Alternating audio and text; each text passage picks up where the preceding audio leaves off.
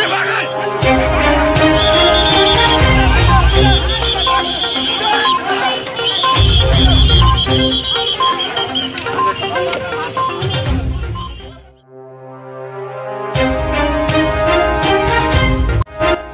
संसद किनबेच हुने स्थिति आएकोले प्रतिनिधि सभा विघटन गरे प्रधानमन्त्री ओली प्रचण्ड माधव समूहको आज पनि शक्ति प्रदर्शन गर्ने एक लाख बढी कार्यकर्ता उतार्ने दावी। प्रधानमन्त्री र राष्ट्रपतिलाई पच्चिस वर्ष कैद हुने अधिवक्ता अर्यालको दावी ओली समूहसँग न्यू नखोज्न महेश बस्नेतको चेतावनी र चितवनमा प्रचण्ड पक्षको मसाल जुलुसमा प्रहरीले चलायो भाटा तेह्र जना घाइते कैयौं पक्राउ। अब समाचार पुरा हेर्नुहोस्।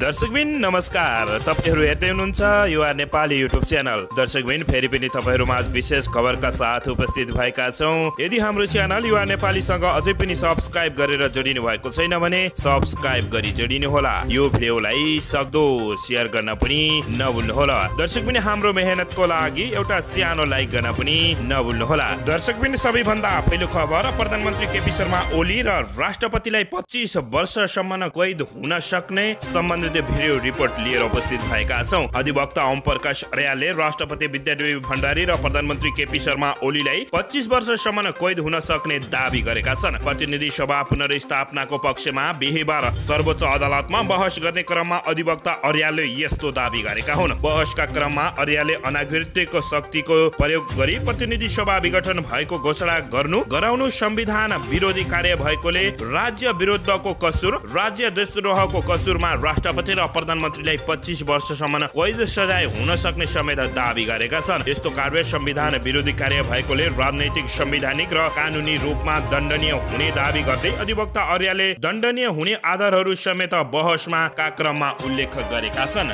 जसमा प्रतिनिधि सभा विघटन गर्दा अनागरिक शक्तिको प्रयोग गरी सार्वभौमको जनताले पाँच वर्षका लागि निर्वाचन गरेको जनप्रतिनिधि संस्थाको क्रियाशीलतामा अवरोध पारेको प्रतिनिधि सभा विघटन सम्बन्धी सूचना विज्ञप्ति अनागृत अनाधिकार कानुनको अख्तियार बाहिन वा अधिकार शून्य भई प्रारम्भदेखि नै स्वत कानुनी प्रभाव शून्य रहेको र देशबाट राष्ट्रपतिलाई अप्रणीय क्षति भएको नेपालको संविधानको दिशान्तरण अध्योपन र अवसान तर्फ लक्षित कार्य भएको संविधानको जीवन रेखालाई विच्छेद गर्ने जोखिम बढाउने गरी संवैधानिक शक्ति सन्तुलन र संवैधानिक सुशासनमा गम्भीर आघात पारेको संवैधानिक संरचना माथिको प्रहार संविधान माथिको षड्यन्त्र संविधान माथिको अपराध भएको लगायतका आधारहरू उल्लेख गरेका थिए। यसकारण संविधानको धारा पाँच राष्ट्रिय हित प्रतिकूलको दण्डनीय कार्य धारा एक सय धारा एक सय एक प्रधानमन्त्री र राष्ट्रपतिलाई पदमुक्त गर्ने आधार तथा मुलुकी अपराध संहिता दुई हजार चौहत्तरको दफा पचास पच्चिस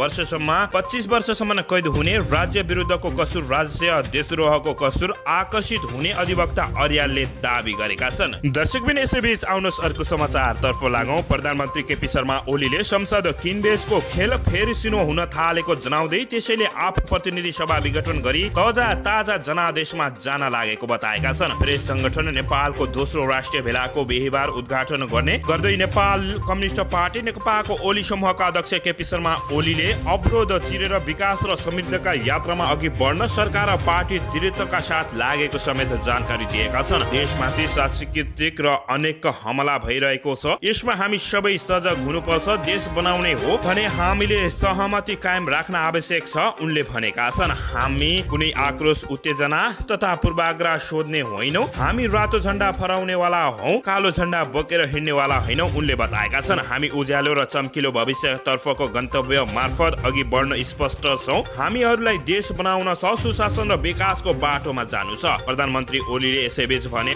यसैबीच आउनुहोस् अर्को समाचार तर्फ लागौँ। संसद विघटन असंवैधानिक भन्दै आन्दोलनरत नेकपा प्रचण्ड माधव समूहले आज काठमाडौँमा विशाल शक्ति प्रदर्शन गर्दै झडपको स्थिति आउने समेत बताएको छ। काठमाडौँ उपत्यका वरिपरिका जिल्ला समेत कार्यकर्ता उतारेर प्रचण्ड माधव समूहले राजधानीमा शक्ति प्रदर्शन गर्न लागेको बताइएको छ। आजको प्रदर्शनमा एक लाख बढी कार्यकर्ता उतार्ने सो समूहले दावी गरेको छ। प्रचण्ड माधव समूहले शुक्रबार बिहान एघार बजे काठमाडौँ र ललितपुरका विभिन्न स्थानबाट जुलुस निकाल्दैछ। त्यसका लागि पाउने एघार बजे नै आफ्नो कार्य क्षेत्र र अर्का क्षेत्रमा जम्मा भइसक्न नेता कार्यकर्ताहरूलाई निर्देशन दिएका छन्। माइतीघर मण्डला दिल्ली बजार लैनचौर त्रिपुरेश्वर कुपण्डोल प्रदर्शन मार्ग त्रिचन्द्र कलेज शान्ति बाटिका लगायतका स्थानबाट विशाल जुलुस निकाल्ने बताइएको छ। माइतीघरको जुलुसमा नेताहरू गणेश शाह गिरिराज मणि पोखरेल मातृका यादव लीलामणि पोखरेल हरिबोल गजुरेल पोखरेल सहितका नेताहरू सहभागी हुने बताइएको छ। यसैबीच विभिन्न स्थानबाट निस्किने जुलुस रत्न पार्कमा जम्मा भई मूल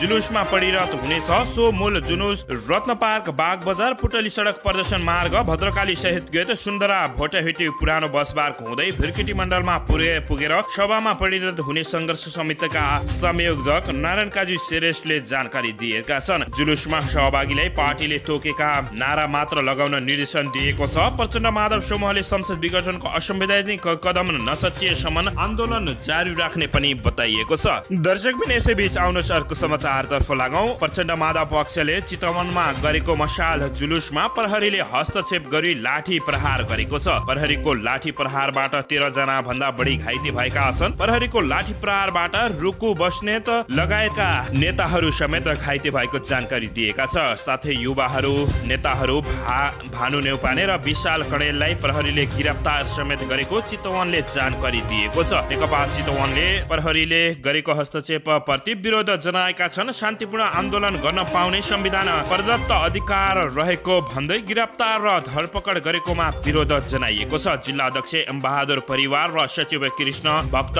खरेल संयुक्त हस्ताक्षर बीच विज्ञप्तिमा प्रधानमन्त्री केपी शर्मा ओलीको प्रत्यक्ष निर्देशन निर्देशनमा युवाहरूको गिरफ्तारी र धरपकड गरिएको आरोप समेत लगाइएको छ। दर्शक पनि यसैबीच यता नेकपा ओली समूहका नेता महेश बस्नेतले केही दिन भित्रै मधेसवादी दलमा ठुलो पहिरो जाने बताएका छन्। उनले जनता समाजवादी पार्टी जसपाका नेताहरूको नेकपामा प्रवेशको लहर चल्ने समेत दावी गरेका छन्। यसैबीच उनले नेकपा ओली समूहसँग न्यु खोज्न नखोज्न समेत चेतावनी दिएका छन्। सप्तरी सदरमुकाम राजविराजमा बिहिबार आयोजित पार्टी निकट युवा सङ्घको अन्तर्क्रिया कार्यक्रमलाई सम्बोधन गर्दै नेता बस्नेतले मधेसवादी दलमा ठुलो पहिरो जाने समेत बताएका छन्। युवा सङ्घको अभियानमा जसपाका पाँचजना केन्द्रीय सदस्य प्रवेश गरेका छन्। बस्नेतले भने केही दिनभित्रै एउटा नयाँ समाचार सुन्नुहुनेछ। मधेसवादी दलमा निकै ठुलो पहिरो जाने बताइएको छ। भुइँचालो जानेछ र नेकपामा प्रवेशको लहर आउनेछ। आफ्नो कार्यक्रम हुन नदिन यहाँका नेताले गरेको प्रयासलाई उनले प्रचण्डले महा मांसाहारी आन्दोलन गर्ने आह्वानलाई स्वीकारेको उनले बताएका छन्। यही भएर कार्यक्रम नगर्न सामान्य समिति र जिल्ला प्रशासन कार्यालयलाई अनुरोध गरेको उनले बताएका छन्। हामी हलभित्र सीमित हुन सक्दैनौँ। हामी ठुलो कार्यक्रम गर्न चाहन्छौ उनले भनेका छन्। दर्शक पनि यसैबीच उनले भनेका छन् नेकपालाई टिप्परसँग तुलना गरेका छन्। टिप्परसँग कहिलेकाहीँ कालो चस्मा लगाएको मोटरसाइकलले न्यु खोज्छ अनि टिप्परले वास्ता गरेन भने बाटोमै अचार बनाइदिन्छ उनले भनेका छन्। नेकपा अहिलेको टिप्पर हो न्यु खोज्नेहरू मोटरसाइकल हो न्यु नखोज्न समेत चेतावनी दिएका छन्। दर्शक नेकपा भित्र प्रचण्ड नेपाल समूह र प्रधानमन्त्री ओली समूहको यति बेला निकै नै किचलो आन्तरिक किचलो भएको छ। यसैबीच देशलाई राजनीतिक द्वन्द्वमा फसाइदिएका छन्। यसको बारेमा तपाईँहरूले अवश्य पनि प्रतिक्रिया दिन नभुल्नुहोला। दर्शक पनि यो भिडियो कस्तो लाग्यो जस्तो लाग्यो त्यस्तै प्रतिक्रिया दिनुहोला। फेरि पनि नयाँ र ताजा भिडियो लिएर उपस्थित हुने बाचा सहित अहिलेको लागि भने युवा नेपाली युट्युब च्यानलबाट बिदा दिनुहोस्। नमस्ते जय नेपाल।